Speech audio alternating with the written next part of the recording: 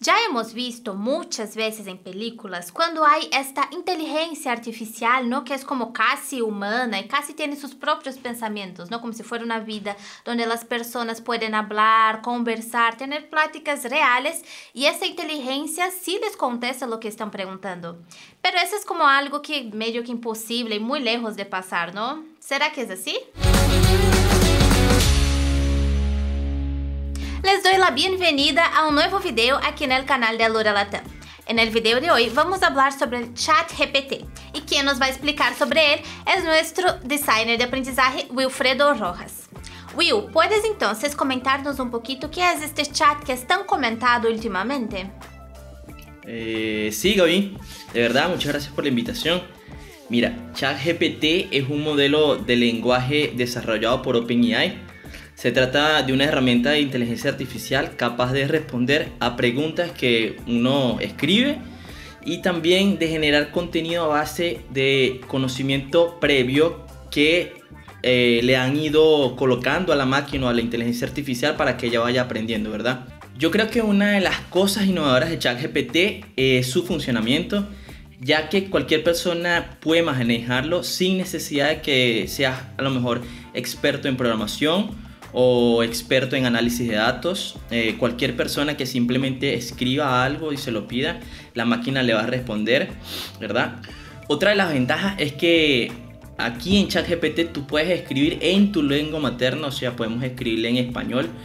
Eh, anteriormente, las versiones anteriores solamente podría escribirse en inglés y era algo que limitaba tal vez un poco a todo el público, ¿verdad?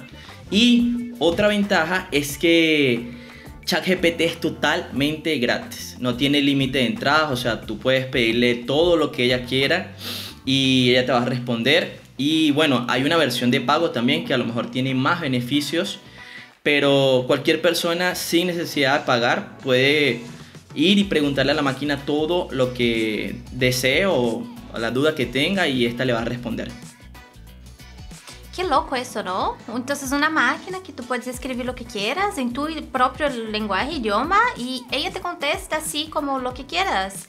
¿Y, por, qué, pues, por qué utilizarlo? O sea, ¿cuáles...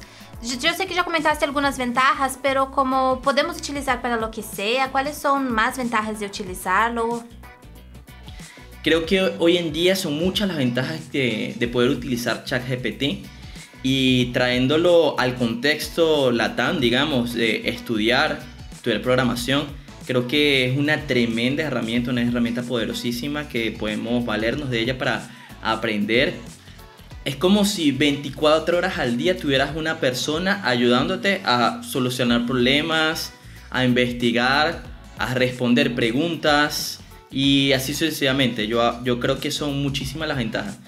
Para nombrar algunas, creo que entre ellas estaría el que ChatGPT este, te puede dar información precisa y actualizada. Te puede ayudar muchísimo también a mejorar la productividad y la eficiencia eh, a la hora de estudiar o incluso a la hora de trabajar. Eh, también esta máquina es capaz de generar contenido de muy buena calidad en muy poco tiempo. Ella es muy rápida. Eh, a pesar de que hay veces que de repente tarde un poco por el nivel de personas que esté conectado o pidiéndole a la máquina, ¿verdad? Eh, ella es muy rápida al hacer un ejercicio, al programar un código, al responder una pregunta, al generar un texto. Y creo que eh, otra de las ventajas es que, como había contado, se puede aplicar en diferentes áreas académicas, como por ejemplo investigación, redacción, traducción, en el área de la informática, con, como nosotros que estamos dedicados más a la programación, este, de verdad, independientemente del área en donde estés, ella te va a responder y te va a ayudar. Y ahora me quedé pensando, ahora comentaste un poco del área de programación, ¿no? Todo eso. Hoy en día, con tantas empresas de tecnología, eso es una tecnología muy avanzada, ¿no? Desde ChatGPT. Con tantas empresas, ¿cómo que eso puede como afectar a esas empresas, al área de tecnología? Eh, mira, Gaby, ahorita en el mes de enero del 2023 eh, le hicieron una entrevista a Bill Gates y le preguntaron qué pensaba sobre ChatGPT Y bueno, Bill Gates dijo que estas inteligencias artificiales van a tener un impacto en la sociedad tan grande como lo tuvo el Internet en su tiempo, ¿verdad? Eh, van a haber muchos cambios importantes e impactantes a partir de ahora, o sea, hay muchos cambios que van a estar por suceder. También dijo que la mayoría de los futuristas que han analizado la llegada de la inteligencia artificial eh, han dicho que estos trabajos que son más sencillos, digamos, como trabajos manuales, físicos y repetitivos, van a ser totalmente afectados y reemplazados por inteligencias artificiales. Yo creo que sin duda va, a haber un impacto eh, que puede ser tanto positivo como negativo para las personas y va a depender mucho de cómo esas personas reciban la tecnología. Eh, por ejemplo, si yo soy un redactor y una inteligencia artificial me está quitando el empleo, ¿cómo yo lo voy a percibir? Lo voy a percibir como parte de una evolución. ¿Qué cosas a lo mejor yo tengo que aprender para adaptarme, para ponerme a nivel, para saber utilizar esas herramientas y, y aprovecharnos de ellas? Pues creo que en el ámbito a gran escala va a ser una mejoría obviamente para, para los empleos, para la sociedad, ¿verdad? lo que tenemos que hacer es obviamente desde ya este, comenzar a estudiar, ver cómo podemos aprovecharnos de esta tecnología ahorita en el comienzo, este, saberlo aprovecharlo en nuestros trabajos, en nuestros estudios. Y bueno, desde ya irnos adaptando, ¿verdad? Y sacándole mayor provecho a esta tecnología. Wow, siento que eso que dijiste, ¿no? Es justo, o sea, como eh, nosotros entender y aprender que como eso es de, de la ev evolución, ¿no? Vamos siempre evolucionando, así como fue en la era de que empezó el Internet y ahora con eso, y cómo podemos adaptarnos y aprovechar de esta tecnología, ¿no? Eso, eso me da muchas como esas vibes de películas futurísticas, hasta como de Iron Man con Harvey y cosas así, ¿no? Es muy, es muy loco. Y bueno, hablamos bastante sobre el chat GPT, pero podemos ver un ejemplo. ¿Puedes enseñarnos cómo, cómo es la página, cómo podemos hacer preguntas? Claro que sí, vamos a, a ver cómo, cómo podemos accesar a ChatGPT. Bueno, Gaby, esta es la plataforma de ChatGPT, ¿verdad? Este, es muy simple de accesar en ella, simplemente tenemos que registrarnos con nuestro Gmail y ya tendremos eh, acceso a esta parte, ¿verdad?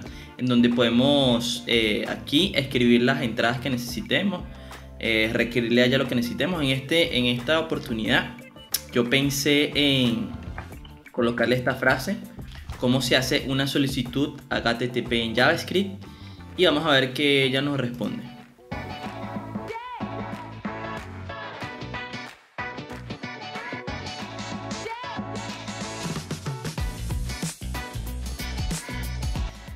Ok, Gaby, mira lo, las respuestas que nos han generado. Ella tarda tal vez este, unos segundos en responder, ¿verdad? Pero eh, una vez que haya respondido, ya nos explica este, cómo hacer esa solicitud de HTTP en JavaScript, ¿verdad? E incluso ella nos da esta otra opción de cómo hacer esta solicitud get usando Axios. Will, está súper genial porque justo como lo que comentaste, ¿no? Si estás estudiando programación, entonces puedes utilizar el chat GPT para que te ayudes, ¿no? A entender o a buscar un código, está súper cool. Y podemos entonces preguntarle, ¿no? Pedirle que nos escriba como 10 consejos de cómo ser un mejor programador, por ejemplo. Claro que sí, Gaby, vamos a hacerlo. Le damos aquí a New Chat, ¿verdad? Y le escribimos aquí.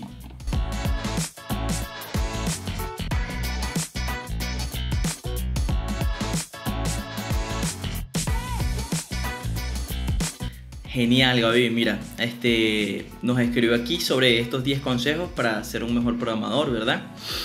Y algo interesante, Gaby, es que, por ejemplo, estos 10 consejos, como tú lo ves, están como por tópicos, ¿verdad?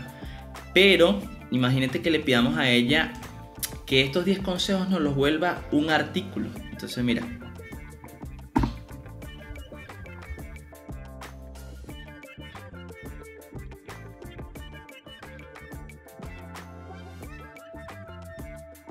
Listo, Gaby.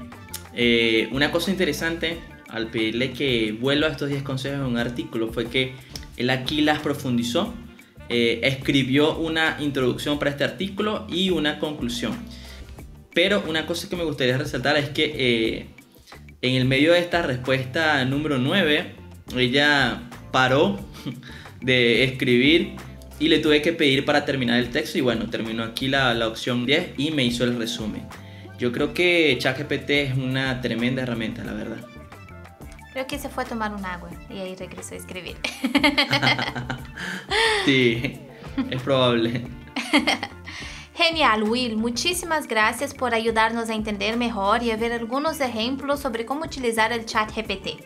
Y muchas gracias a ti que quedaste aquí en este video con nosotros. Si te gustó ese tipo de contenido, suscríbete al canal que pronto regresaremos con más videos.